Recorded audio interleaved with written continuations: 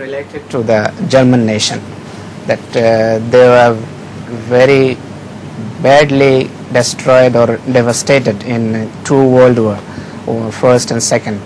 But uh, astonishingly and very rapidly they again built the nation. So what is the secret behind? How come they overcome such devastation First of devastation? all, that nation is very resilient and uh, extremely laborious people. In scientific progress, they are not behind any other nation. And in technology, they are one of the best nations in the world. And uh, extremely studious people. Moreover, they have a sense of national honor, whichever party they belong to, they're always loyal to German people, German nationality.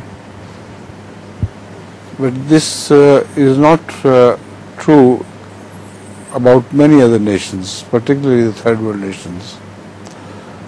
They may do lip service to their nationality, but when it comes to a trial, they always or mostly become traitors, but not Germans. They are very devout, very loyal, very studious, and uh, upright people.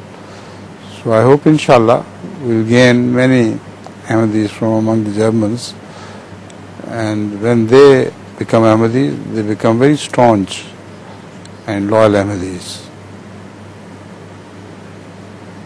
Um, you have used Huzur, one word resilient. I, I don't know the meaning of it. Resilient is like you throw a ball down to the earth Yeah.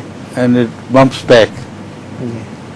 So you push the German people below with great power and with the same power they will get back.